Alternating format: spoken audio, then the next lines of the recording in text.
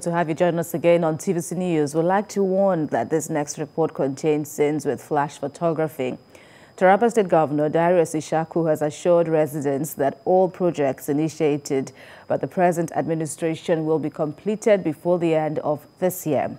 And some of the projects include the Jalingo flyover, drainages and the rehabilitation of dilapidated federal and rural roads with electrification also given priority. Owolabi Adenusi filed in this report. The focus of the 2021 budget, which amounts to the sum of 142 billion naira, is aimed at completing all ongoing projects even in the face of the present economic downturn occasioned by the second wave of coronavirus pandemic. 6.13% of the budget has been set aside to address COVID-19 related projects for last year. The COVID 19 pandemic has negatively affected the global economy with a consequential effect on reduction of government expenditure.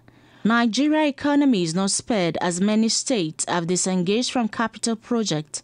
In Taraba, about 20 billion naira was spent in containing the spread of the virus, but this has not discouraged Governor Ishaku from capital projects that will have a positive impact on citizens.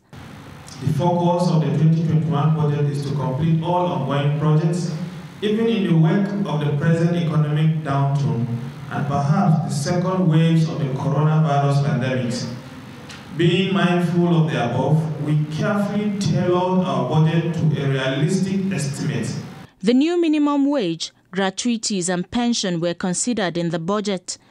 34.39 billion naira represent 41.8% of the total recurrent expenditure for the year, which stands at 82.24 billion naira. The 2021 budget have taken uh, into cognizance uh, the increment in salary Residents told TVC News that the governor must match his words with action by completing all the ongoing projects before the expiration of his tenure in 2023. We are even praying for him since he promised that he will complete this route.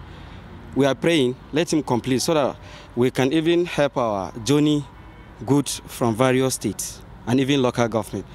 You know, as you can see now, uh, uh, we don't have flyover since but during him, Governor Darius Dickson, he planned to give us flyover.